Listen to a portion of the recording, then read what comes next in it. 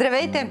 Аз съм Мариана Векилска. Вие сте с България в 60 минути във вторник, 2 март. Ето какво ще видите днес в предаването.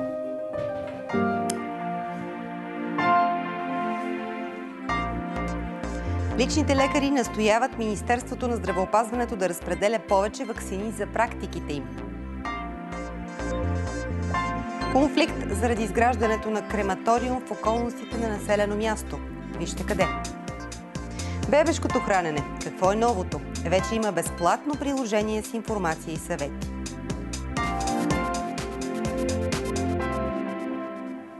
Ето и къде ще ви отведем. Днес да видим картата на България. Аксаково, Велико Търново, Сребърна, Пловдив, село Стара Кресна, Камено, Благоевград, Русе, Добрич, Варна. Нивелина Нягова предава на живо от Аксаково, за да разберем има ли вакцини за личните лекари там. Мирела Дончева се включва от Велико Търново във връзка с важна мисия на България в 60 минути – здравословното хранене. Калчо Петков е застанал просто пред един фототапет.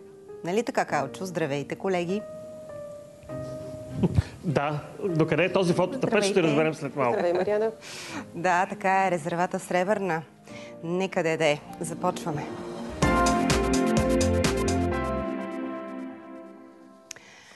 326 флакона от последната партида на AstraZeneca са разпределени във Варна. С тях ще бъдат вакцинирани близо 3200 души. Част от вакцините са и при личните лекари. За колко време ще стигнат и колко души ще може да вакцинира една лекарска практика, ще разберем от Нивелина Няголово, което е в поликлиника в град Аксаково. Здравей, Нивелина!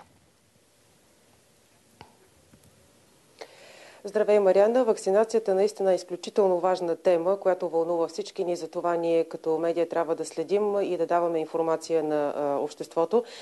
Така, както ти каза, ние се намираме в кабинета на един общо практикуващ лекар. Това е доктор Янко Панделиев, при който има желаящи да се вакцинират, но каква е точно ситуацията сега ще разберем от него. Кажете ни, какви трудности срещате? Има ли достатъчно вакцини за вашите пациенти? В момента няма достатъчно вакцини подадени около 500, бяха дадени 90, сега от новия месец имаме подадени още 150 човека, за които ни дадаха 30 дози, така че изчакваме новите доставки.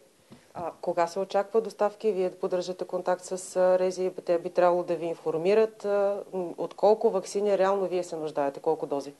В момента около 600 човека имаме записани, които изчакват за вакцинация. Така, а вие днес реално не правите вакцинация, защото? Ние получих вакцините, трябва да организирам хората и на четвърти ще бъдат в кабинета. От четвърти започвате. какъв е списъка? Готов ли е? Колко човека ще можете да... С тези 30 дози ще се вакцинираме 30 човека и другите ще продължат да чакат. А, редно ли е да ви се от, отпускат повече вакцини, за да можете да облегчавате дейността на останалите кабинети, където се поставят вакцини?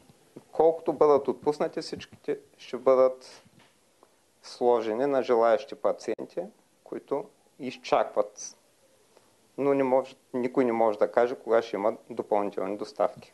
Има ли сред вашите пациенти, които да държат на определена марка от а, вакцините, които се доставят или просто държат да бъдат вакцинирани? Такива, които да се отказват, примерно, защото няма определен вид? Да, има. Някои изчакват вакцината на Pfizer, други чакат още руската вакцина. Какво ще ги посъветвате вие, вашите пациенти и всеки, който е решил да се вакцинира? Най-добрата вакцина е сложената вакцина, така че би трябвало да се вакцинират възможно най-скоро.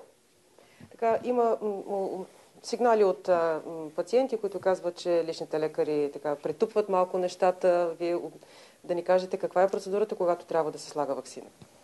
Преглед се прави, нали? Преглед се прави, мери се кръвно общо състояние, след това се поставя вакцината след поставяне на вакцината изчакват 15 на минути в манипулационната за някакви странични явления и се освобождават пациентите. До сега не сме имали странични явления от вакцината. Да ми кажете до тук колко човека сте вакцинирали до вашата практика? 90 човека са вакцинирали с вакцина на AstraZeneca. Добре, много ви благодаря. Успех ви пожелавам от утре, не от утре, утре националния празник. От четвъртък започва вакцинацията тук в кабинета на доктор Панделиев. А, редно е да ви кажа, че във Варна има и нощен кабинет, в който се поставят вакцини. Той започва да работи в 19 часа. Намира се в първо ДКЦ във Варна, света Клементина. Това, което знаем е, че за тази вечер има изготвен списък, 50 човека са включени в списъка и има осигурени вакцини за тези 50 човека.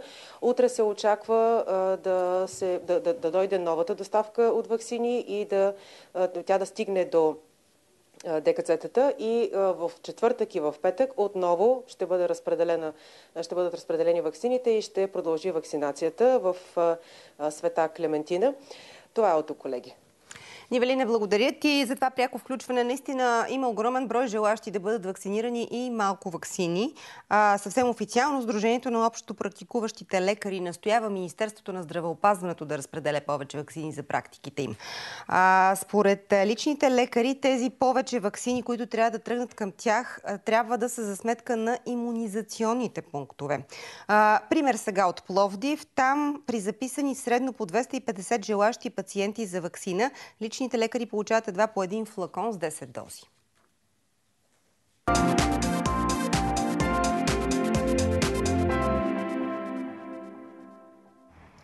От ранни зори в кабинета на доктор Валканова в Крумово идват пациенти, които са се записали за вакцини.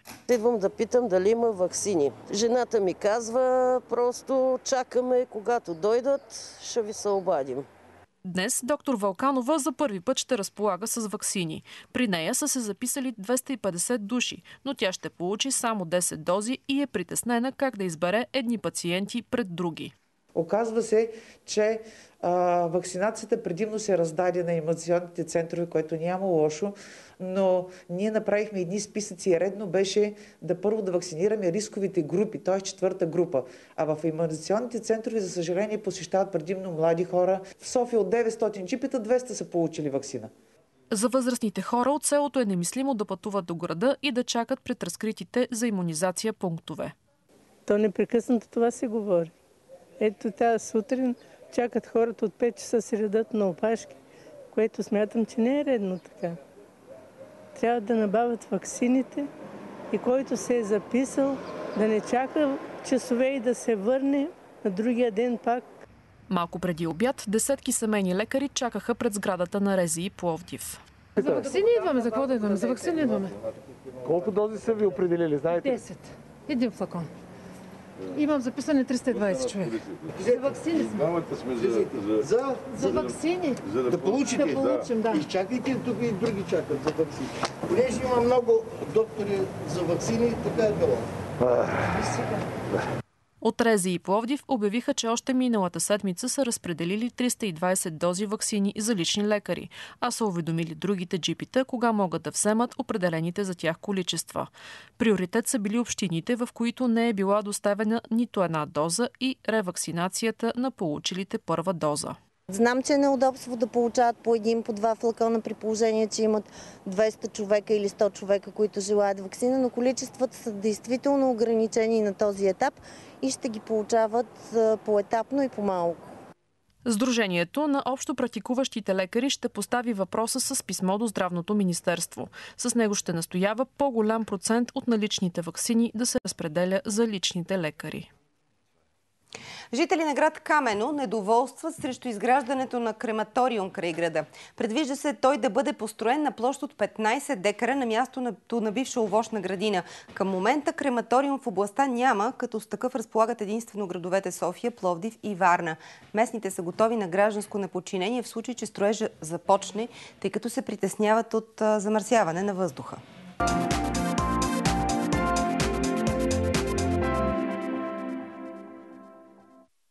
Елена Жекова живее и работи в Камено. Тя е категорично против изграждането на крематориум само на километър от родния град. Притеснява се, че условията на живот в Камено ще се влушат. Никой не дава гаранция, макар че а, изпълнителя беше категоричен, че с а, филтри, които защитават нали, околната среда, но аз не съм убедена в това. Имам и а, впечатление от чужбина, че не е коректно да се строи, в близък населен район. Така че съм против изграждането. Местните се опасяват, че водата може да бъде замърсена, тъй като само на 300 метра от обекта има помпена станция. В близост има и насъждение от череши, както и пчелни кошери. По тази причина хората са възмутени и са готови да използват всички законови средства, за да попречат на реализирането на проекта. За мен това е, това е безумие. Не съм убеден, че е безвредно. Най-вече за хората и за природата. Камена против. Даже българо, съседните села. Искаме да живеят децата ни в чист въздух. Така. И знаете ли, че този климаториум на година ще отделя по 27 тона отровни вещества от комина. Той го пише в тяхния доклад. Същевременно в Камено се разпространи и протестна подписка, която е подкрепена от над 2500 души. Освен това, кмета на Камено е изпратил две писма до регионалната екоинспекция в Бургас. В тях ясно се посочва несъгласието на общината и общинския съвет с строежа на крематориум в близост до града. Не знам, що нямаме отговори от университета. Ние сме им написали нашето несъгласие. Цялото население показва тази позиция, че е нежелателен крематориума. Наистина там е вододайна зона. Наистина духът доста северно ветрове, нали, от което се опасява и населението. От регионалната екоинспекция уточниха, че в момента по проекта се изготвя оценка за въздействието върху околната среда. Управител Кристиян Киров обещава, че бъдещият крематориум ще бъде екосъобразен, както и ще отговаря на всички европейски стандарти. Обиколих над 20 крематориума в целия свят и избрах най-доброто по моя преценка. До инвестираме и 650 хиляди евро в тази допълнителна филтраща система.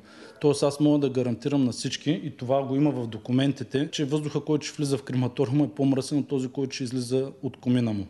Освен това, специални измервателни устройства ще следят качеството на въздуха, а всеки жител ще може ежедневно да се информира дали има повишение в нормите. Могат по всяко време да осъществяват контрол какво се случва и в момента, в който някоя норма е извън показателите законовете, аз съм готов да преустановя дейност на крематориума. И още, инвеститорът има намерение да развива земеделие върху терен, който се намира в непосредствена близост до крематориума. По пример на крематориум в Швейцария, Белгия има такива инсталации, които правят съседство, използват тази енергия, топлина и развиват земеделие в съседните имоти. Все още обаче не е ясна съдбата на бъдещия крематориум, тъй като се очаква оценката на регионалната екоинспекция в Бургас за въздействието му върху околната среда. И сега към притесненията на хора от югозападна България. Животновъди от селата Стара Кресна и Ощава се тревожат за прехраната на стадата си. Причината е, че след големия пожар в Кресненско през 2017 няма достатъчно пасища.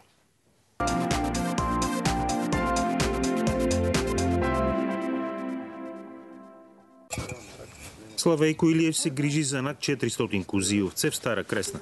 Разказва, че има само едно останало пасище, където извежда животните. Всичко друго се залесява след пожар от преди 4 години спепелил над 11 000 декара борова гора. Много се залеси тук. Това е с правото, разбира се, което мина пожара преди години, което е неприятно. В смисъл ние няма альтернативни пътища да откараме стадата на, например, за Балкана. Ние трябва да караме по асфалт.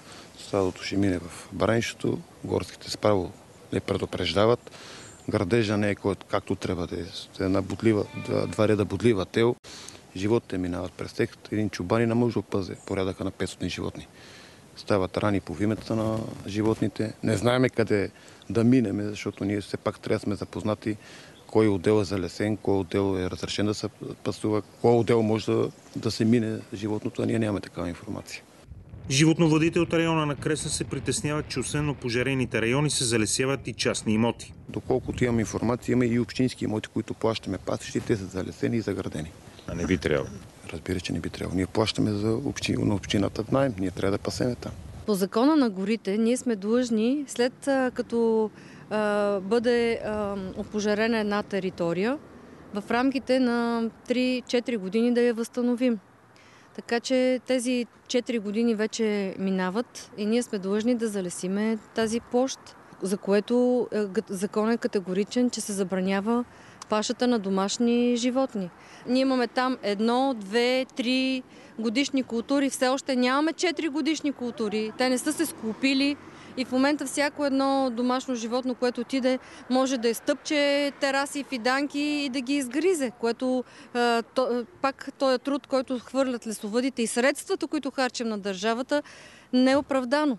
18 животновъди от района ще внесат жалба в община Кресна за правилно разпределение на зоните за пашуване. Според тях местата за паша се раздават неправомерно на стопани, които не отглеждат животни. В смисъл няма доказани толкова животни, а имат декларират пасища над допустимото.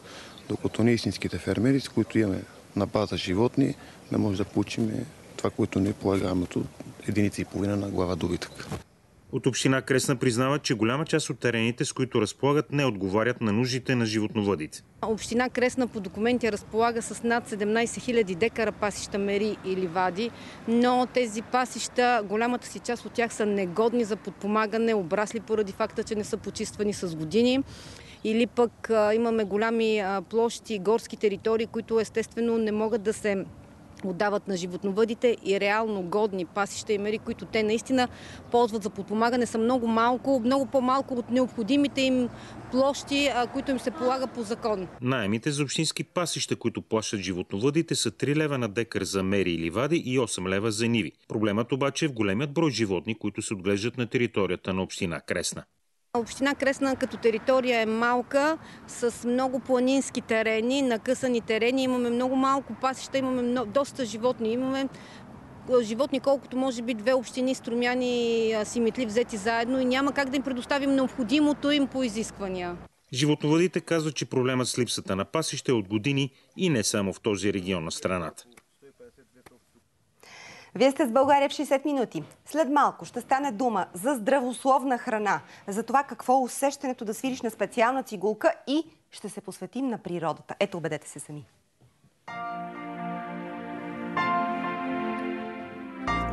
В резервата Сребърна първите двойки кадроглави пеликани вече са се завърнали. Какви са навиците им? Къде може да се снимат китове и какви са тънкостите на подводната фотография? Урок по икибана. Изкуството, което връща към природата и вдъхва живота.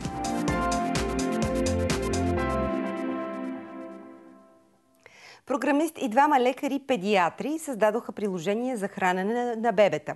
То е едно от малкото български и е напълно безплатно. В него родителите могат да открият систематизирана информация с най-новите методи и теории и практики на захранване на децата и съвети на самите специалисти.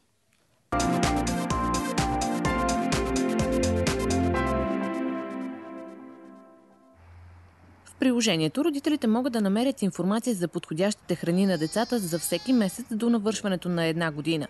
Данните в него се развиват от създателите му според нуждите и изискванията на родителите. Започнахме да правиме графики, за да могат потребителите по-лесно да виждат развитието на децата си.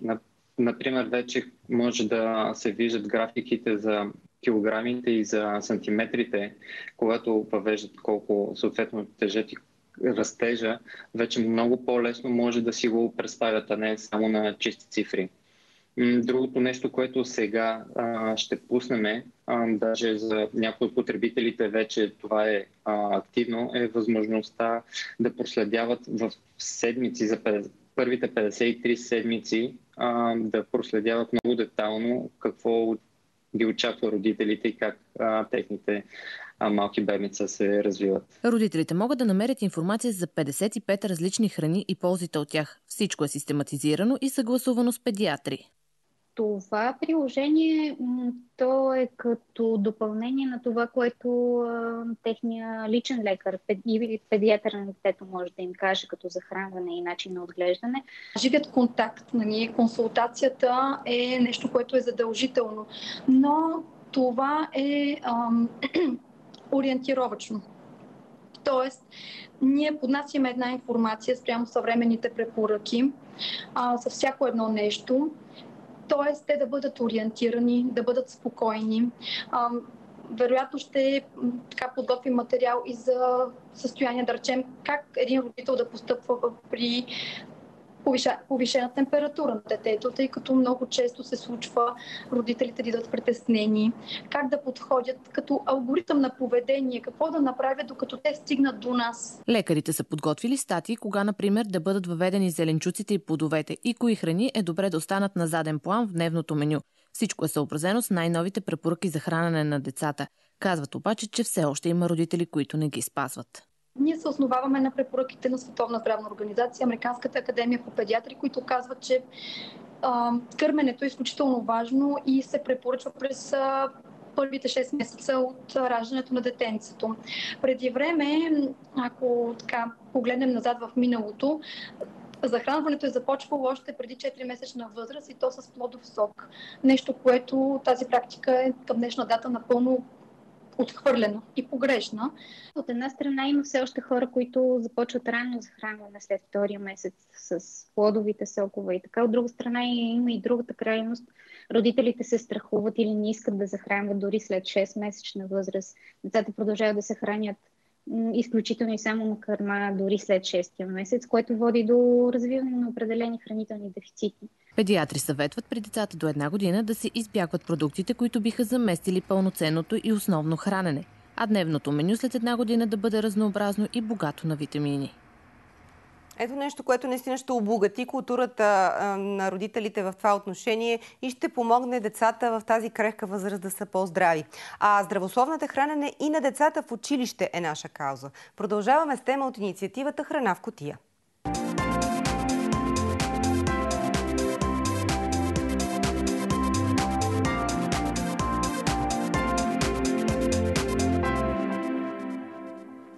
В едно от най-големите училища в Велико Търново от началото на тази година работи един от най-модерните училищни столове.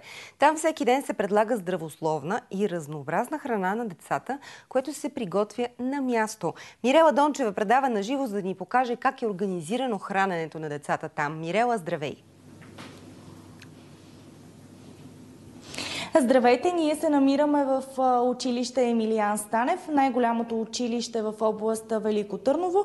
А аз в момента съм в кухнята на училищния стол. Както и сами може да видите, това по-скоро прилича на професионална кухня в ресторант. Представям ви сега Моника Френчева, която е домакин на стола и всеки ден е човека, който отговаря за здравословното хранене на децата в училище. Здравейте! Как се организира здравословен обяд за децата в това училище? Здравейте! И трудно, и не толкова трудно. Децата вече свикнаха, че при нас яде изключително и само здравословна храна. Ние не приготвяме нищо пържено варим повечето от ястията и ги печем или ги приготвяме на сгарата. Със сигурност това е въпрос, който вълнува и родителите, чието деца всеки ден се хранят тук. Затова преди да покажем салона на стола, искам да покажем част от уредите, в които храната се е, приготвя. Разкажете ни малко повече какво е това приспособление. Това е нашият конвектомат. Това е печката, в която ние печем предимно на, ска... на пара нашите ястия, а това е нашият тиган, който тиган е само името му, ние не пържим в него. Тук се приготвят всички зърнени храни, всички бобови растения, като боб, леща и така нататък. Имате абсолютно всички условия, за да готвите здравословно. Държахме да го покажем това нещо, за да се убедят и родителите в него.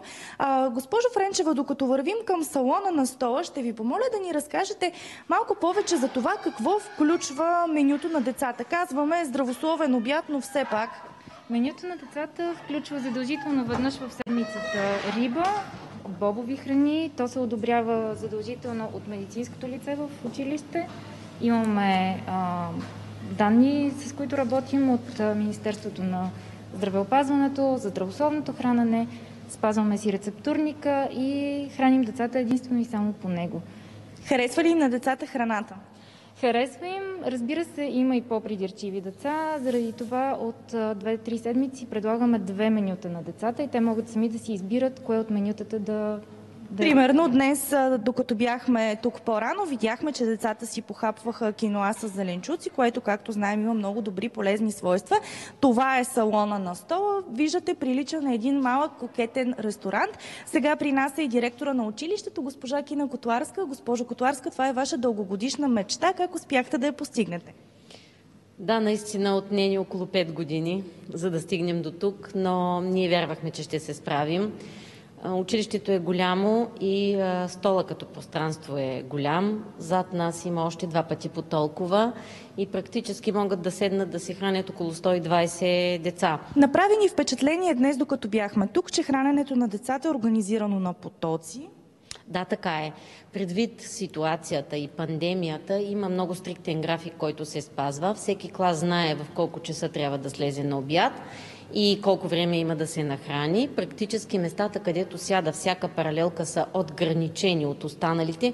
Примерно тук сяда само една, от другата страна имаме място за още три, така че всичко е направено по начин, по който да не се смесват децата от отделните паралелки.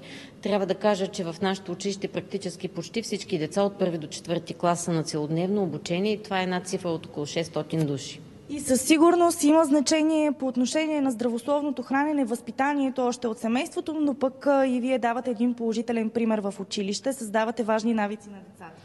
Така е, каквото можем ще го направим, въпреки че при нас идват вече формирани, някои предпочитат да ядат пържени картофи, други хамбургери. Разбира се, това е за децата, но а, колеги, това е един положителен а, пример от едно Велико Търновско училище, където правят всичко възможно техните деца да се хранят здравословно на обяд. Мирела, това е страхотен пример от Велико Търново. Наистина поздравление за училище Емилиан Станев. Още повече, щом говорим за едно огромно училище с много деца. Защото всички сме свикнали да ядем бял рис с зеленчуци от малки, е. а, а именно тогава се формира вкуса и точно тогава може и родителите да дадат едно рамо на а, директорката и на училището, като по-от малки вкарат в менюто на децата здравословни храни, като киноа, а, което чудесно може да замести ориза, да речем, макар и не 100%. И точно на колегите от Велико Търново е идеята да посветим специално време на децата в България в 60 минути. Защото децата са наша кауза на всички ни. Те са ни отговорност, те са ни пример, огледало са ни, отражение са ни, ученици са ни и учители. Не ги подценявайте. И много често добър пример, като в следващия случай. Деца от училището по изкуства в Добрич правят видеокартичка за 3 март. Участват млади музиканти и певци, хореографи и художници и сега ще ги видим.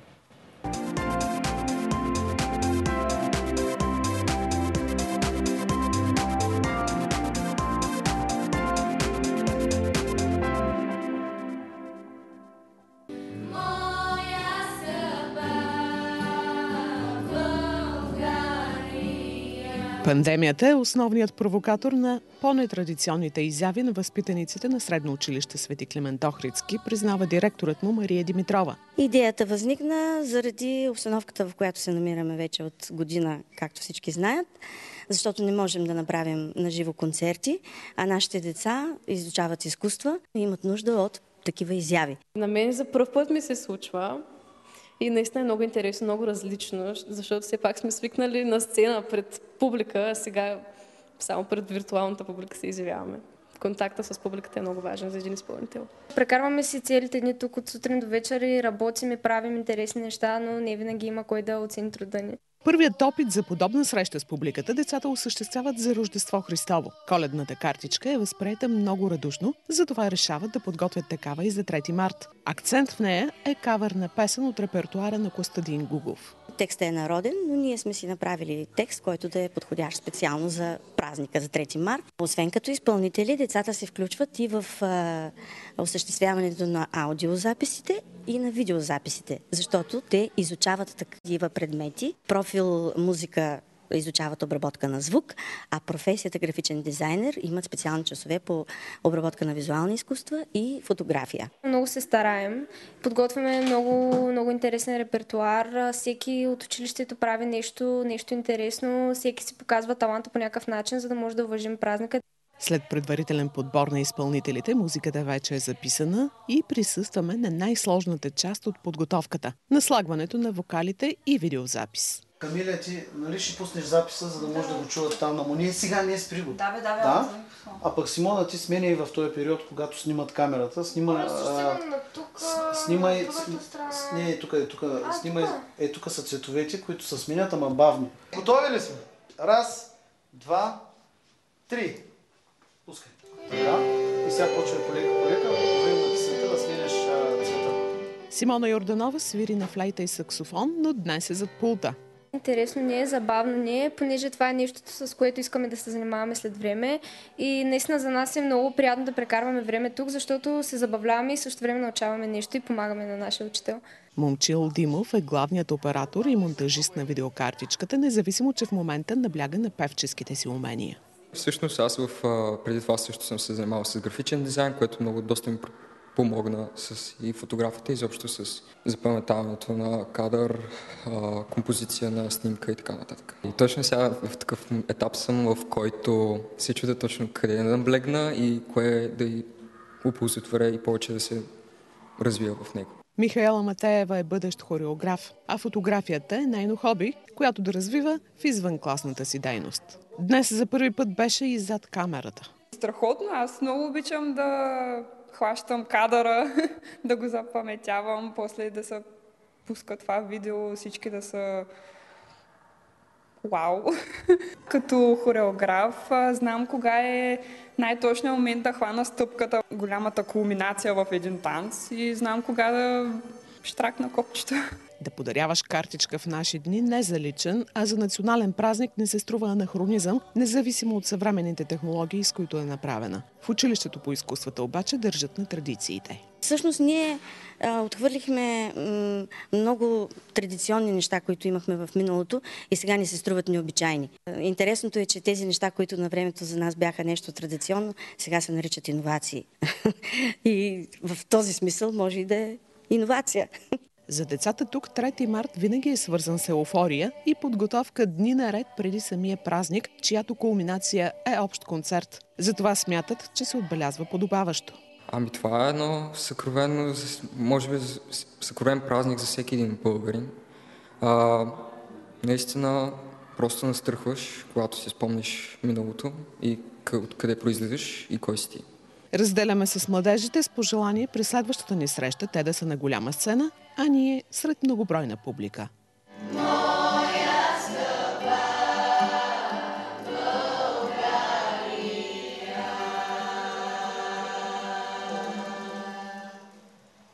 И видеокартичката на децата от Добрич ще бъде качена в нашата фейсбук страница. Влезте, вижте харесайте защото наистина аз пах настръхвам като гледах тези деца, които са благословени да развиват своите таланти и са щастливи от това а, и които наистина творят с усещането, че правят нещо наистина значимо, каквото е. А пък ученик от Националното училище по изкуствата в Русе свири на цигулка, ремонтирана и подписана от основателя на българската лютиерска школа Георг Хених. Хених е майсторът на струнни инструменти, увековечен в романа на Виктор Пасков «Балада за Георг Хених» и в филма на Дочо Боджаков «Ти, който си на небето». А какво е усещането да свириш на такъв музикален инструмент, разказват Виолета Никифорова и Пламен Иванов.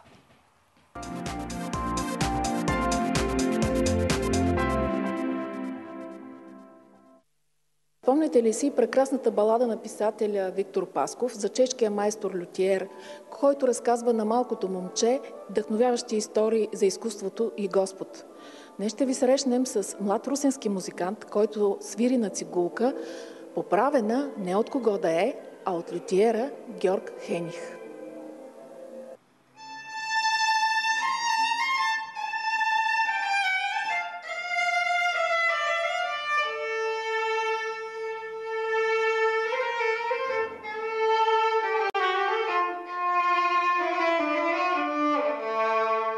По-скоро е един любопитен факт. Той няма някаква историческа такава значимост, а по-скоро емоционална. Факта е, че наш ученик от 9 клас, цигулар Преслав Ламбев, свири на стара цигулка, която преди около 100 години е репарирана от Георг Хених. И това е любопитно, защото Георг Хених е едно живо същество от плът и кръв, а не е художествена измислица на Виктор Пасков. Той е бил музикант, разбар, дошъл след, след освобождението в България заедно с свои сънародници да ни помага. Колко сме били благодарни, се вижда от книгата Балада за Георг Хених.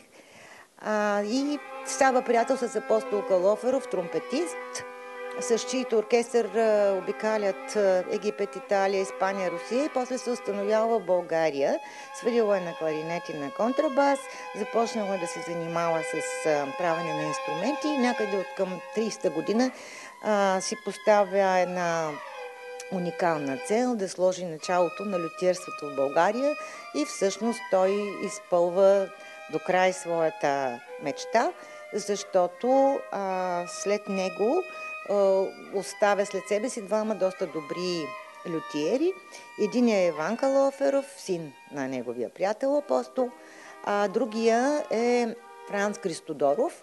Ако той е началото, първата стъпка, то за създаване на лютиерска школа в България става дума през 1949 когато е първото състезание за лютиери го печели Иван Калоферов. И пък цигулката, като всички такива любопитни, интересни неща, попада съвършено случайно при госпожа Галина Караргирова, която е учителка на Преслав, една възрастна болна жена, чрез техни други приятели, свързва се с нея и казва, че иска да продаде старата си цигулка на съпруга си, с която той е свирил в началото на века. Вътре в цигулката има ръчно написано Георг Хених, 1922 година. Някога тази цигулка е била в ръцете на този човек и се надяваме сега това да е знак за едно много добро бъдещо развитие, защото Преслав е а, от така нашите надежди.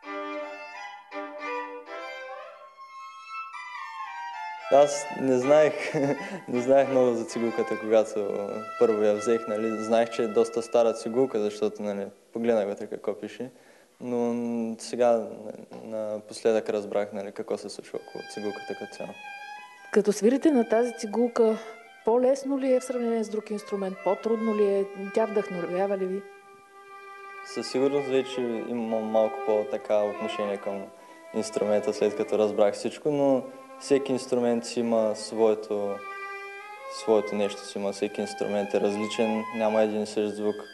Има доста разлики от един до друг инструмент и мисля, че това го прави по-специален.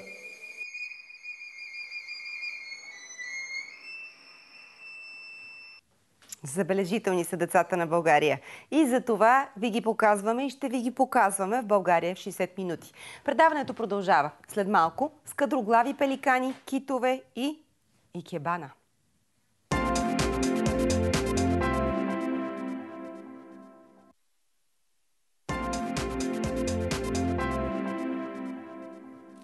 И сега се насочваме към резервата Сребърна, където първите двойки кадроглави пеликани вече са се завърнали. Повече за навиците на редките птици ще научим от Калчо Петков, който явно успял да ги проучи вече. Нали така, Калчо? Здравей! Питат за теб зрители, питат за теб колеги. Какво прави Калчо? Къде е Калчо? А Калчо ето го в резервата Сребърна. Да, тук съм на много специална екомисия в а, резервата Сребърна. Само да кажа, че той е резерват от 1948 година и се простира на площ от 8500 декара. Трябва да ти кажа, че е нещо наистина уникално като птици, като атмосфера, като екосистема. Ето сега оператор ще се опита да покаже тези кадроглави пеликани, за които всички говорят. Надявам се да успеете да ги видите. Но най-интересното да ти кажа, Мариана, на теб и на нашите уважаеми зрители, че за първи път тези кадроглави пеликани пристигат толкова рано тук в Сребърна. Обикновено чета, като един изключително любознателен а, човек, че пеликаните пристигат тук през месец февруари или, или началото на месец март. Тук сме с Яна Райнова. Яна, здравей! Сега операторът ще дойде и при нас. Надявам се зрителите да виждат пеликаните и патиците. Какво става с тези пеликани? Защо дойдоха толкова рано? Ами, здравейте първо да ви кажа на нашите зрители. Ами, причината, на която отдаваме ранното идване на пеликаните, се дължи на глобалните климатични промени и ранното затопляне. А това всъщност е кадроглавия пеликан, така ли? Защо е кадроглав? Защото аз по-скоро гледам той като хеви метал в главата. Ами кадроглав се нарича така, се е неговата порода и ние го даваме, че просто прическата на кадроглавия пеликан е малко по-кадрива и заради това ги наричаме кадроглави пеликани. Добре, те дойдоха и и вече, както се казва, гнездят и ще имат малки. Да, очакваме новото поколение да се излюпи, може би, през началото на април. Колко вида птици въобще животни има тук на територията на а, вашия резерват? Само да покажем тук на този, а, заповяда Яна, ето така изглежда а, целият резерват а, а, Сребърна. Та, а колко животни имат? А, резерват Сребърна се обитава от, не, от над 20, 220 вида птици, като 90 вида от тях са гнездящи. Защото Сребърна минава по пътя Вия Понтика, а този път е между Африка и Европа. Аз видях, тук в Екомузей имате диви просета, сърни, лисици. Да, те се намират в гористата част на резерват Сребърна. Така, и тук ми каза нещо много интересно, което аз лично не мога да си го обясня. Плаващи острови. Да, това е другата атракция на нашия резерват. Плаващите острови. Ние ги наричаме плаващи острови, защото самата коренова... Да ги покажем, да, да ги покажем да могат. Самата коренова система, ето примерно на тези двете малки островчета и на цялата тръстика, самата коренова система е вътре във водата. И те плуват от силата на вятъра. Колкото е по-силен вятъра, той ги избутва и просто те си плават свободно в езерото. Самата коренова система, както казах, не е закоренена долу в почвата, е във водата. И това прави лесно движението. Добре, тук има страшно много птици. Ето ние тук сега ще слезем по стол, за да видим други видове птици. Защо всички казвате, ами пеликаните, пеликаните на Сребърна, а не кажем, примерно, чаплите, не кажем тук свраките? Ами, пеликаните са основната атракция на резерват Сребърна. Ние ги наричаме краля на резерват Сребърна, именно защото това, е, това са единствените, единствените пеликани в България, които гнездят в Сребърна. Никъде другаде. А те а, а, по този път на Вия Понтика отиват в а, Африка. Но някои все пак не успяват. Зимата как се справят? Тук е доста студено. Ами, имаме едни основни птици, които си остават в езерото. Отскоро остават и лебедите. По принцип те са прелетни, но както споменах, заради смяната на времето и лебедите остават да зимуват тук. И по-интересното е това, че когато сме идвали зимата, и аз и колегите ми, наблюдаваме едно особено явление. Те се събират абсолютно всички видове на куп и образуват една локва на цялото замръзнало езеро, защото то замръзва на 100%. Те образуват една голяма локва, събират се абсолютно всички там и от самата топлина на телата и постоянното движение на крилата, просто тази локва не може да замръзне и там се обитават. Добре, аз е, като човек, който обича животните, бях донесъл храна да хвърля на тези птици, но вие ми казахте, че е забранено. Защо? Много кратко. Ами, забранено е, защото това рискува тяхното здраве и те се изхранват сами. Никой не се грижи за тяхната прихрана. Тоест изцяло еко. Абсолютно изцяло еко. Така, уважаеми зрители, видяхте част от флората и фауната на резервата Сребърна. Не правете като мен да им носите храна. Те са тук в естествената си среда и ги радвайте, гледайте ги, помагайте, ако можете с нещо нали, на, на музея и на птиците. Мариана? Ех, Калчо, благодаря ти за това пътуване за нас, всички нас виртуално, но а, винаги а, така съм искала много силно да посетя този за мен е мистичен този резерват Сребърна, а, защото а, сякаш не отделяме внимание и омалуважаваме дивата природа, а тя е поне толкова велика, колкото сме и ние хората. Ние сме всъщност част от нея. Така че благодаря ти от сърце за това пътуване, наистина и от името на зрителите. И от флората и фауната, типични за България, към екзотичните растения и животни. Първо животни. Да се гмурнеш с фотоапарат в екзотичните води на Френска Полинезия и остров Тонга – това са единствените места в света, където е възможен близък контакт с китове. При това в период, когато отглеждат малките си. В такова морско приключение се впуска варненецът Мартин Христов, който се занимава с подводна фотография от 14 години. А Дани Цекова ни среща с него и с най-големите животни на планетата, които изминават над 6000 км от Антарктида до Тихия океан, за да родят малките си там.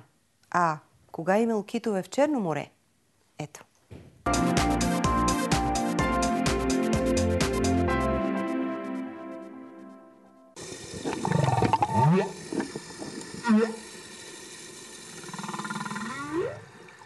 Това са морските води до остров Тонга, където има много гърбати китове. Интересен е факта, че любителите на подводната фотография могат да се гмуркат и да ги заснемат само през месец август. Шансът да снима гърбат кит и неговото малко се е паднала на Мартин Христов, който е успял да заснеме майка, 40 тонна майка с 8 или 4 тонно бебе беше. А, какво е усещането да се направи такава фотография? Ами, китовете са над 15 метра дълги и около 40 тона тежки. А, усещането е наистина много вълнуващо, защото а, тези снимки са правени буквално на няколко метра от майката и бебето. Интересното е, че през цялото време майката не яде нищо, защото няма какво да яде, отслабва с около 10 тона. Това е много голямо геройство от нейна страна, а малкото за сметка на това надава с около 45 кг на ден. Защо през август? Защото тогава малките са малко пораснали, майката е по-спокойна и те стават по-любопитни, отделят се от майката и идват близо до фотографите, така от, чисто от любопитство и това е много така интересно. А ние тук в случая имахме шанса да видим а, майка, която е с а, бяло бебе, което е доста фотогенично и много любопитно и много спокойни, така че успяхме да направим снимки, които групите преди и след нас са нямали шанса да направят. За вас шансът е бил рядък. Какъв е шанса да оцелеят все повече и повече китоподобни в Черно море и кога е имало китове в Черно море? Китове има податки и информация в древните времена на единични екземпляри, които са попаднали. Иначе в палеонтологични времена китове са обитавали Черно море. Дори в местност Траката може да се види, може би все още останали гръбначни прешлени от кит. Иначе представители на, на тази група бозайници в Черно море са само три вида. Това са трите вида наши делфини, които са ендемични, т.е. никъде другаде не, не може да видим точно този вид видове, като популациите им за жалост все повече намаляват и това е в връзка с замърсяването и с антропогенния фактор и разбира се най-вероятно и с климатичните проблеми, които се свързват към днешна дата. Благодаря и тъй като нищо тук не е със самоцел, както и фотографиите на Мартин Христов, така и срещата ни тук, са с цел наистина да научат децата да да чистят и да пазят околната среда. Точно заради това е и поканата към тази изложба, която може да носите тук своите картини до 7 март. С това познаваме ли историята на гърбатите китове? И още едно пътуване, виртуално, до Япония, чрез изкуството на икебаната. А това ще е забележителен процес, защото в него участва и Ники Рейшинов, според когото цветята правят живота по-творчески, по-красив, вдъхновен и спокоен. Цитирам го. Ето сега.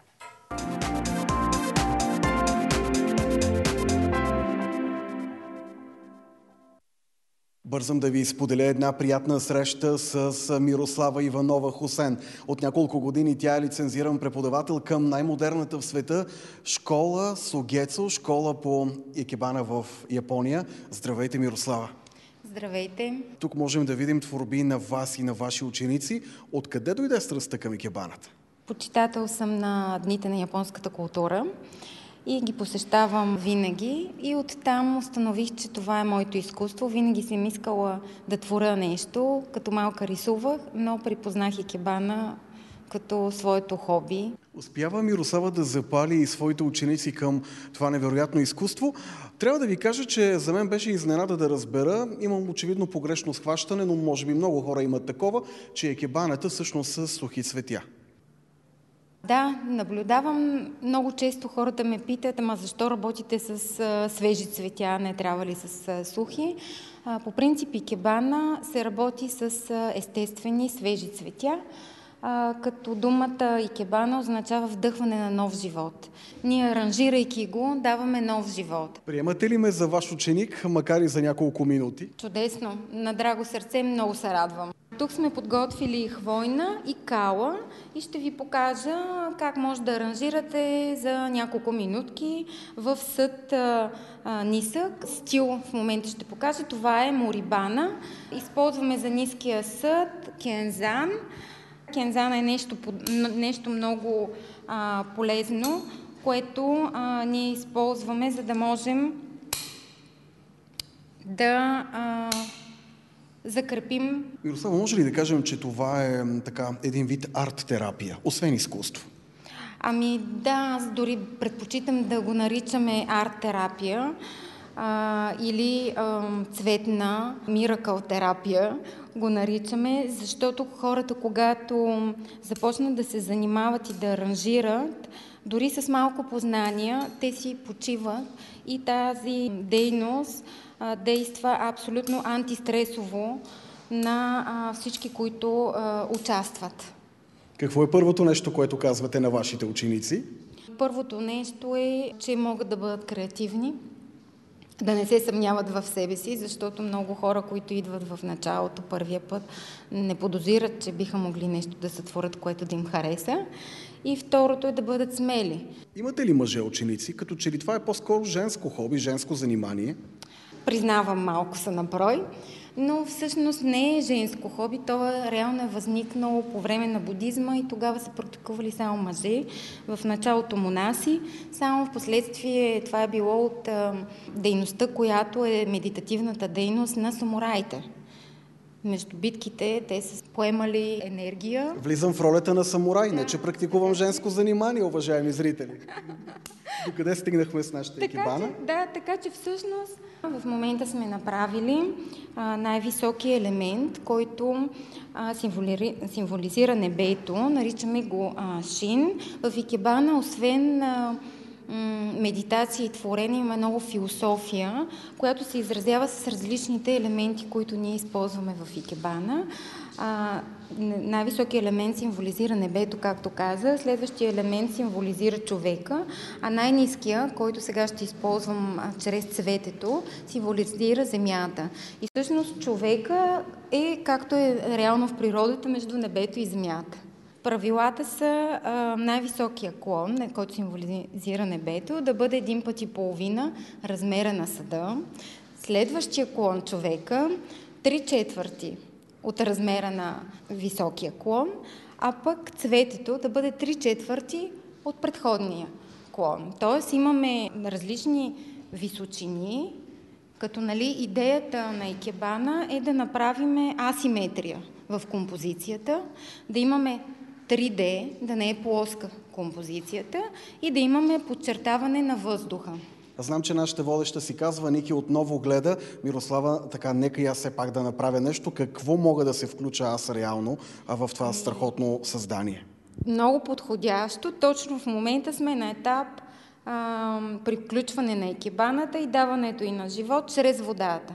Тоест ще помоля да сипете вода в екибана. Ще сложа вода. Както чувате, това не е най-лесното, а напротив много важно, важен елемент от а, нашата екибана. Вдъхването на живот. Само ми кажете кога трябва да... Да, водата, продължавайте да, да пълните. Водата се пълни до нивото на бодличките на кензана, така че още малко ще помоля. А, и всъщност водата, освен че дава живот нали, на, на, на цветята, да, благодаря. В случая, ползвайки асиметрията, композицията е сложена в единия край на съда, ние подчертаваме вече, ето вижте тук, самото пространство на водата. Нали. Тоест се подчертава много хубаво водата. Добре, изключително ви благодаря, беше ми много интересно. Показахме ви една телевизионна симетрия и първи стъпки в обучението по практикуване на изкуството Икебана.